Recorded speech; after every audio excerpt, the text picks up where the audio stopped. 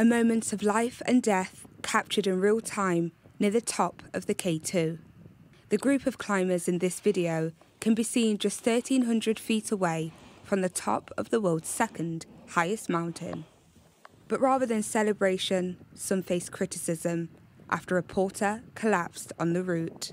Mohammed Hassan, a father of three, had slipped from a narrow ledge at around 8,200 metres.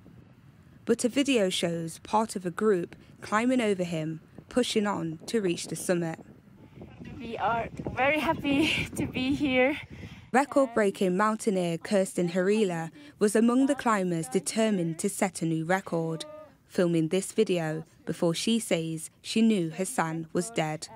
Harila, though, believes she and her team did everything they could.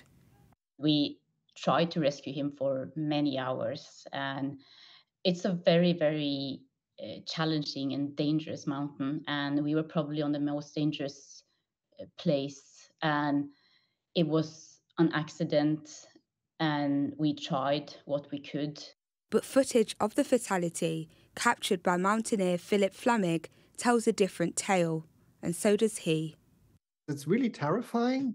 They had to literally step over this body when he was lying there on this little ledge, which is like this. All these people needed to pass him. He was still alive. In the next picture, I saw, okay, they are up. There was just one person rubbing him. Uh, I said, why, why didn't they brought him down?